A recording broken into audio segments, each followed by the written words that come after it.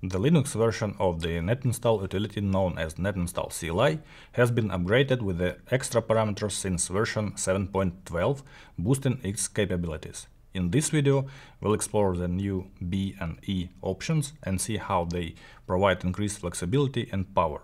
We'll also review all available parameters to get a complete understanding of the netinstall CLI utility. The B option, similar to the Windows Keep Branding feature, allows discarding the currently installed branding package from the device. Otherwise, the branding package will be reinstalled alongside RouterOS. For more details on the branding package, refer to our previous video. Another familiar option is the R parameter, which resets the current configuration. For devices that support it, the default configuration will be applied. Upon the initial boot, a notification will appear offering you the choice to either remove the default configuration, leading to a reboot with no configuration applied, or to show script and retain the current default configuration, applying it accordingly. Now, we have introduced the E parameter, which allows you to apply an empty configuration right away during the installation process, saving your time. That means you can start configuring from scratch without wasting time on an additional reset. Remember, the R and E parameters are mutually exclusive. If you try to use both of them, you'll be notified.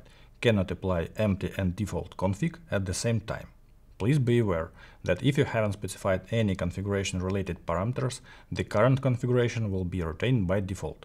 However, it's crucial to understand that this only affects the configuration settings and doesn't affect files, such as databases like user manager database, Dude database and others. Since the net install process involves disk formatting, all files will be deleted. Another helpful parameter is I interface, which lets you specify the interface that will be used for net install. It could help you in situations where the tool selects the wrong interface by default.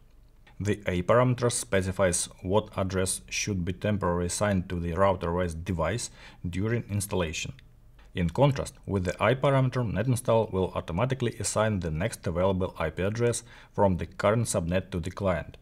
A little tip, if the interface already has an assigned IP address, using the I parameter renders A parameter unnecessary.